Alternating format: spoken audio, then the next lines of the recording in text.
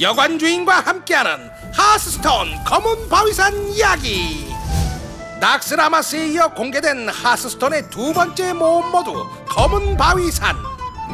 그 검은 바위산에서 가장 먼저 만날 수 있는 전설 카드는 바로 제왕 타우리산인데요. 타우리산이 대체 어떤 캐릭터이길래 이렇게 강력한 카드가 된 건지 타우리산과 라그나로스는 대체 어떤 관계인 건지 궁금하시다고요? 서두르지 마세요. 타우릿산의 재밌는 이야기 지금부터 하나하나 함께 하시죠. 타우릿산의 이름은 워크래프트 역사상 두 명이 언급되는데요. 먼저 마술사 영주 타우릿산 이야기를 해보겠습니다. 마술사 영주 타우릿산은 검은 무쇠 부족을 이끌었던 인물이죠. 드워프의 수도인 아이언 포지에서 기나긴 내전 끝에 추방되고 나서 복수심에 다시 전쟁을 벌였지만 결과는 최악 그 자체. 자신의 본거지마저 점령돼 버릴 대위기에 처하게 됩니다. 이 위기를 타개하기 위해서 정령들을 소환해 적들을 상대하기로 결심한 타우리산 일곱 현자들과 함께 정령을 소환하는 의식을 시작했는데요. 결국 땅속 깊은 곳에 잠들어 있는 고대의 정령을 불러내는 데 성공한 타우리산. 하지만 문제는 그 정령이 소환자들의 힘으로 제어할 수 없을 정도로 강력한 존재. 불의 정령왕 라그나로스였다는 것이죠. 라그나로스가 소환되면서 그 자리는 우리가 아는 그 이름 검은 바위산이라고 불리는 화산으로 바뀌었고 타우리산과 일곱 현자들은 라그나로스가 소환되면서 생겨난 충격에 그만 목숨을 잃게 되죠. 그리고 지도자를 잃은 검은 무쇠 부족은 라그나로스의 노예가 되어 지금까지도 검은 바위산에 묶여 살게 됩니다. 이때 목숨을 잃은 마술사 영주 타우리산의 후손이 두 번째로 언급되는 타우리산 제왕 타우리산의 카드 모델인 다그란 타우릿산인데요. 월드 오브 워크래프트의 모든 던전 중에서 가장 많은 보스를 보유한 던전 검은 바위 나락의 마지막 보스로 등장합니다.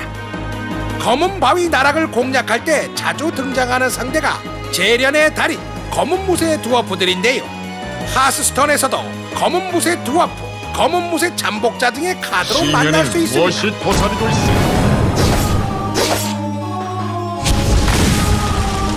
이때 검은 바위산 모험 모드에 등장하는 익숙한 얼굴들과 장소도 볼 수 있는데요. 검상고준 주정뱅이 선술집 정뱅이 설설집이여 안녕하 그리고 법의 심판장입니다. 새로운 도전자군이야 검상고준 주정뱅이 선술집에서는 검상고준 손님이 등장하는데요. 이 손님들은 처음 마주할 때는 공격하지 않지만 이 중 한 명이라도 때리게 되면 정말 벌떼처럼 무섭게 몰려들죠. 이런 특징은 하스톤에서도 정말 잘 드러나서 무시무시한 손님들의 러쉬를 여러 번 볼 수 있습니다. 법의 심판장은 많은 관중들에 둘러싸인 상태에서 강력한 투기장 검투사들을 상대하도록 하는 것으로 하스스톤 모험 모드에서도 이런 설정이 잘 반영되어 있는데요. 대법관 그림스톤은 모험 모드에서 카드를 낼 때마다 정말 긴 카드 설명으로 게이머들에게 악명 높기도 하죠. 월드 오브 워크래프트에서 다그란과 관련된 퀘스트는 드워프의 수장이었던 마그니 브론즈 비어드의 딸 모이라 브론즈 비어드를 구출해오는 퀘스트인데요.